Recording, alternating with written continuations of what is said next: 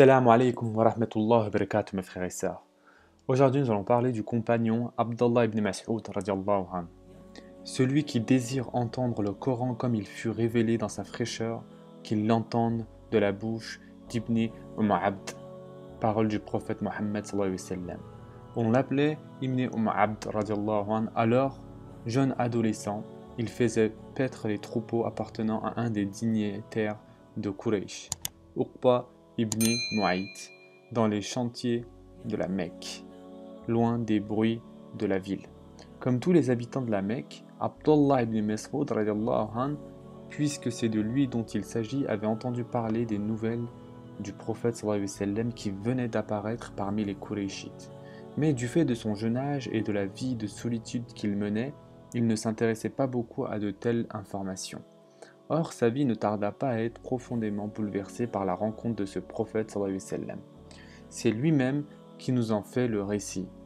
J'étais un jeune adolescent qui travaillait comme berger chez Uqba ibn Mu'ayt. Un jour, alors que je faisais paître mes moutons, je vis deux hommes d'âge mûr venir dans ma direction.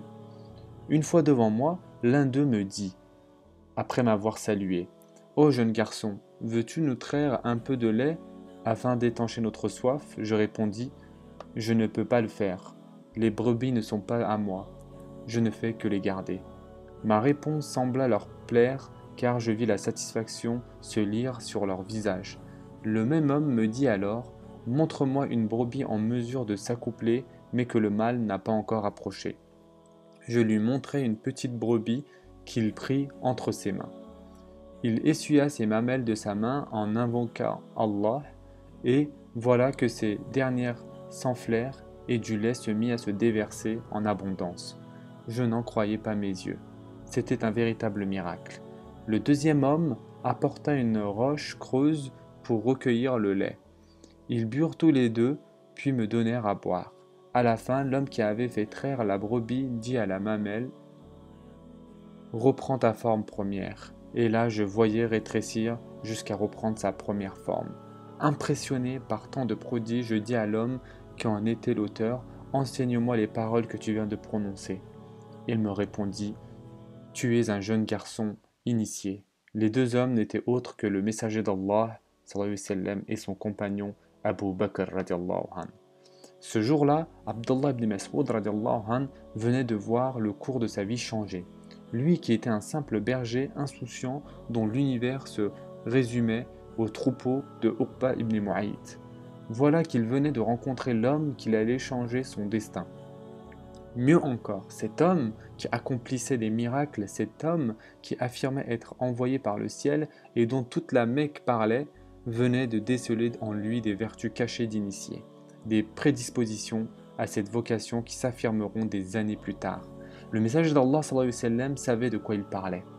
Ce médecin des âmes avait décelé en ce jeune homme, en ce jeune garçon éveillé et perspicace qu'était Ibn Mas'ud, les signes et les prémices de la sagesse et de la connaissance. En bref, la marque des initiés. L'avenir dira combien il avait raison. Abdullah ibn Mas'ud ne tarda pas à aller se convertir auprès du messager d'Allah et à lui proposer de le servir. Ce dernier accepta sa demande, et notre compagnon devint ainsi un des intimes du messager d'Allah. Il ne le quittera plus de la journée, en étant constamment à ses côtés à un tel point qu'il fut surnommé le confident du messager d'Allah. De son côté, l'envoyé d'Allah avait permis à ce compagnon encore tout jeune d'entrer chez lui à n'importe quel moment et de le côtoyer autant qu'il le voudrait. Cela permit à Ibn Mas'ud de s'imprégner de la science et de la sagesse dans lesquelles baignait la demeure du prophète et de devenir l'un des compagnons les plus savants et les plus érudits. Tous les témoignages des compagnons concordèrent à accréditer cette thèse. C'est ainsi que Hudayfa ibn al-Yaman a dit de lui Jamais je n'ai vu de semblable au prophète dans sa guidée, sa modestie et ses traits comme Ibn Mas'ud. Abu Musa al-Ash'ari a dit de son côté, en s'adressant aux compagnons Ne vous consultez pas dans les affaires de la religion tant que cet érudit est parmi vous. Comment pouvait-il être autrement alors que le messager d'Allah avait dit à son sujet soyez fidèles à l'engagement d'Ibn Umm Abd. Cet illustre compagnon qui avait grandi dans la demeure du prophète et étudié sous sa direction devint à juste titre l'un des plus savants et des plus érudits parmi les compagnons, notamment dans la connaissance du livre d'Allah et son interprétation. Sa récitation du texte sacré était tellement agréable que le prophète lui-même aimait l'entendre de sa bouche.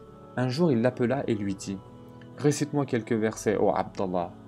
Ibn Mas'ud lui dit je te récite des versets alors que c'est à toi que le Saint-Coran a été révélé L'envoyé d'Allah lui répondit J'aime l'entendre réciter par un autre que moi.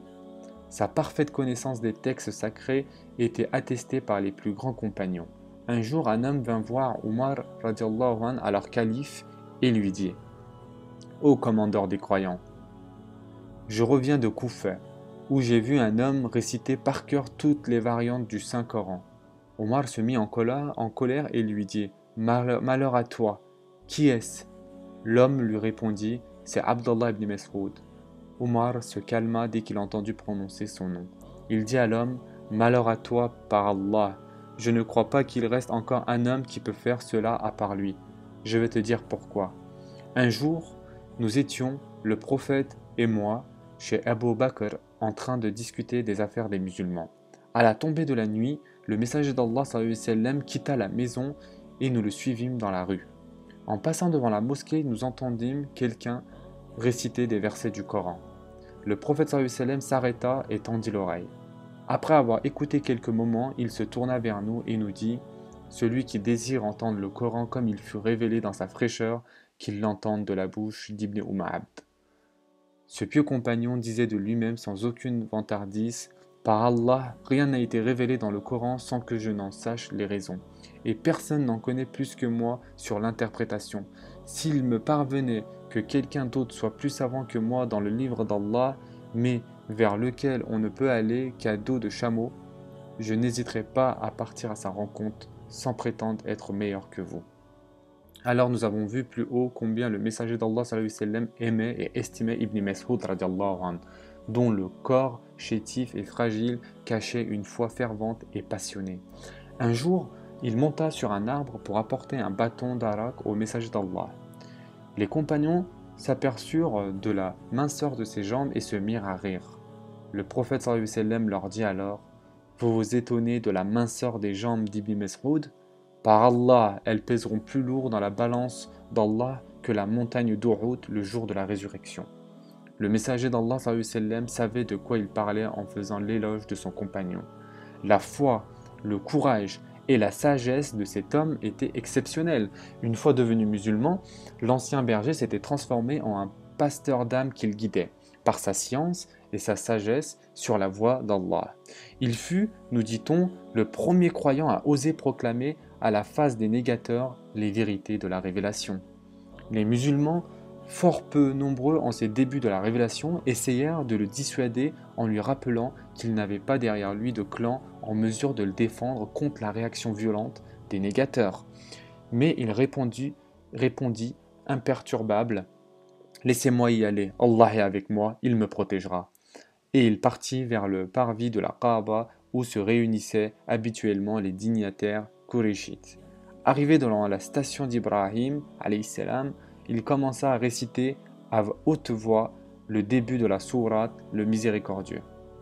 Les Quraysh le regardèrent étonnés, puis, ayant compris ce qu'il disait, ils sautèrent sur lui et se mirent à le battre en s'acharnant sur lui. Ce n'est qu'avec peine qu'il put s'arracher de leurs mains. Le visage ensanglanté, il revint vers les compagnons qui lui dirent C'est pour cela que nous avons craint pour toi. Il leur répondit Par Allah, je ne les crains pas aujourd'hui comme hier, et si vous voulez que je refasse demain le même geste, je suis prêt à le refaire.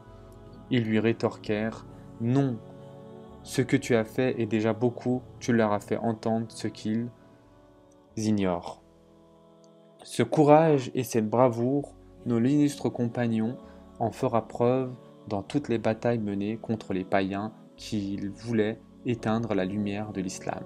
Que ce soit à Badr, à Uhud, à la, bataille des tranchées, à Tabouk, à Hunayn, avec le messager d'Allah, ou lors des glorieuses conquêtes en Perse, en Irak et en Syrie sous les califats d'Abu Bakr et Omar il était, toujours était toujours aux premières lignes cherchant la voie du martyr. À Badr surtout, il eut un comportement particulièrement héroïque en prenant part à la mise hors d'état de nuire du plus acharné des ennemis de l'islam, Abu Jahl.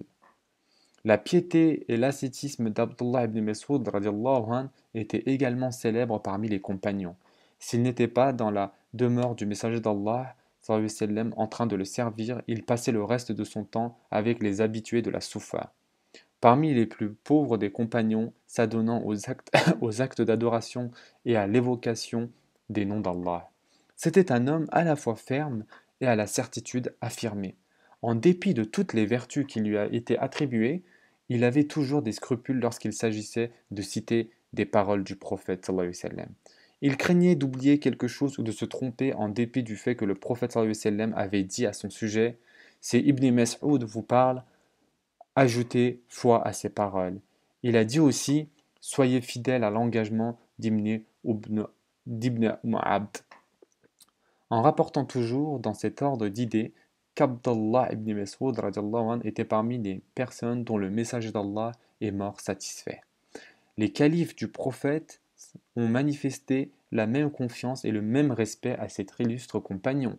C'est ainsi que Omar l'envoya à Koufa seconder Ammar, son gouverneur, avec le message suivant. Je vous envoie Ammar comme gouverneur et Abdullah ibn Messoud comme maître religieux et comme ministre. Ce sont deux des meilleurs compagnons du prophète. Obéissez-leur et prenez exemple sur eux. Apprenez aussi que je vous ai préféré Ibn Messoud sur moi-même. Profitez donc de ses enseignements. Les habitants de Roufa furent tellement satisfaits de sa mission parmi eux qu'ils refusèrent de le laisser partir lorsque Osman, alors calife, voulut le destituer. Ils lui dirent Reste à ton poste et ne le quitte pas. Nous te défendrons contre tout ce qui pourrait arriver.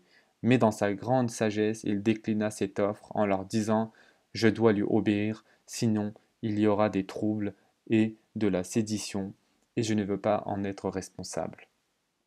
Une autre fois, on lui dit que Ousmane faisait une prière de quatre génuflexions à la Mecque et à Mina durant le pèlerinage, alors que le prophète et ses deux premiers califes, Abu Bakr et Omar en faisaient deux. Notre pieux compagnon suivit l'exemple de et en fit quatre comme lui. À ceux qui lui demandèrent pourquoi, il répondit Parce que les divergences sont source de mal, c'est dire combien Ibn Mas'ud était sage et visionnaire. On aurait dit qu'il avait anticipé ce qui allait arriver à la communauté comme divergence et comme malheur. Mais hélas, il ne sera pas là le jour où on aura besoin de sa sagesse et de ses conseils. Le Seigneur l'avait appelé à lui. Étendu sur son lit de mort, il reçut la visite de Osman venu s'enquérir de son état. Il lui dit De quoi te plains-tu Ibn Mas'ud répondit de mes péchés.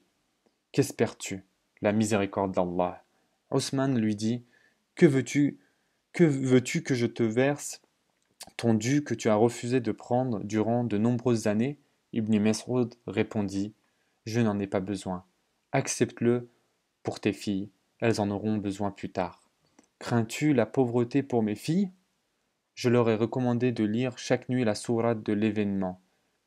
El-Waqi'a, Or, j'ai entendu le messager d'Allah dire Celui qui récite chaque nuit la sourate de l'événement n'aura pas à craindre la pauvreté. À la tombée de la nuit, il rendit l'âme après que son dernier râle se soit confondu avec la prononciation du nom d'Allah qu'il a tant évoqué en ce bas monde. Ô toi, âme apaisée, retourne vers ton Seigneur, satisfaite et agréée. Entre donc parmi mes serviteurs et entre dans mon paradis. Sourate 89, versets 27 à 30. Prenez soin de vous, mes frères et sœurs, et à très prochainement, Inch'Allah.